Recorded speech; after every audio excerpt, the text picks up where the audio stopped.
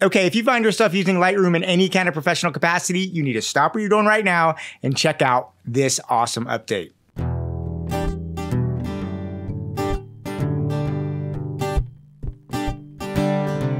So as a professional photographer, Lightroom is just one of those tools that honestly has come to the point it's almost as important as my camera. That is how much I use it and how much I rely on it to help me deliver professional high-end results to my commercial clients. Now that being said, there's been some incredible updates that have come out in Lightroom over the last couple years. Now one area in Adobe Lightroom that I've really seen make some dramatic leap forwards has been in AI technology.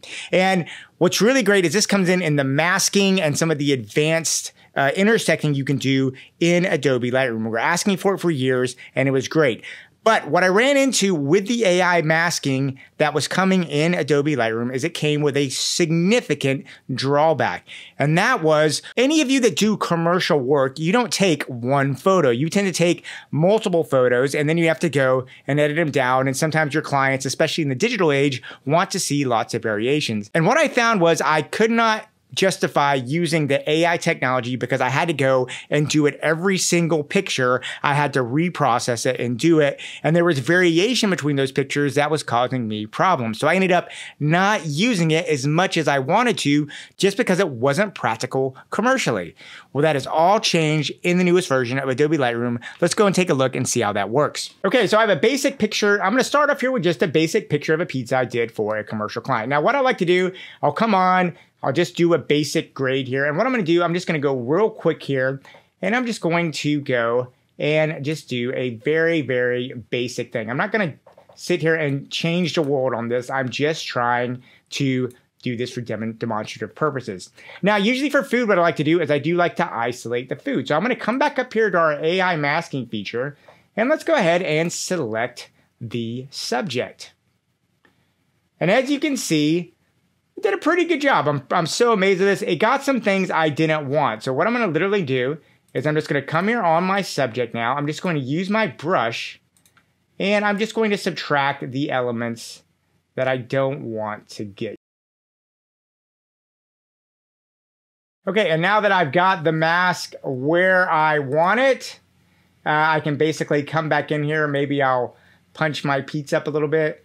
Maybe I want to get a little bit of color contrast in there, so I might bring my blues up a little bit. Maybe I'll pop the white so just get a little bit more pop in there. And I might bring up just a hair bit of texture because texture in the pizza makes it look a little yummy.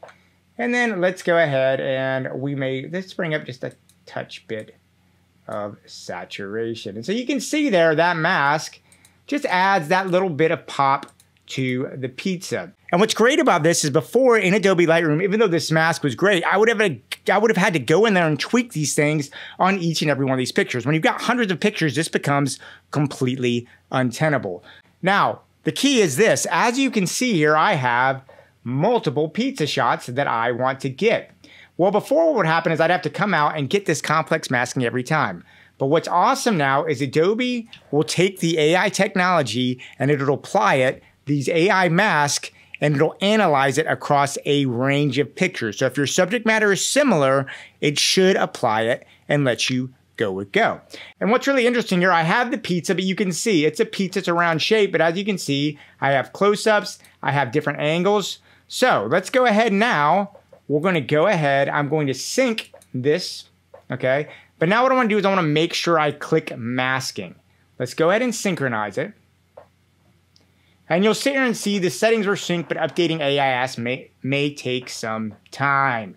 So it takes a little bit longer, which is fine. So we'll let it go ahead and update it. It's not a huge amount of pictures. And boom, there you go. It takes that fast and it didn't really take that long. And what I love about this is now I can come over here and you can see that my masks are applied. Now it's just a matter if I can sit there and even in complicated ones like this, and you can see now when I click over, it's done a really good job of coming in here and showing me my mask. And this is just really, really helpful for me to do this because now as I'm going through, I can do that kind of target adjustment. I can come to another ones. I'm going to come to this pizza here. If I click on my mask, it's not going to be exactly perfect.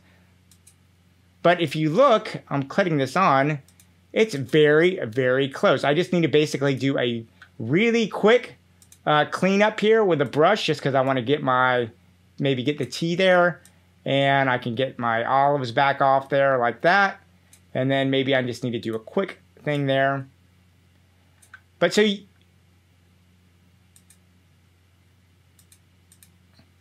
So you can quickly see just how useful this can be. Now what it's taking these AI masking, which is such a powerful feature, but now it's applying it in a professional commercial application, which I think for me absolutely is changing the way I approach Lightroom and lets me get so much more finesse, especially when I got to do mass uh, amounts of photos to clients to see it. I know now I can get even better results and better responses from my client because of this new update in Adobe Lightroom. Anyway, guys, let me know what you think about that. I'd love to know what you have to say about this. I was super excited when I saw this update. And for me, it's such a game changing thing in Adobe Lightroom. I just felt like I had to share it. Leave me any notes and comments down below. I'd love to hear from you. Yeah. And uh, go out there and keep on shooting. Yeah. I'll talk to you soon.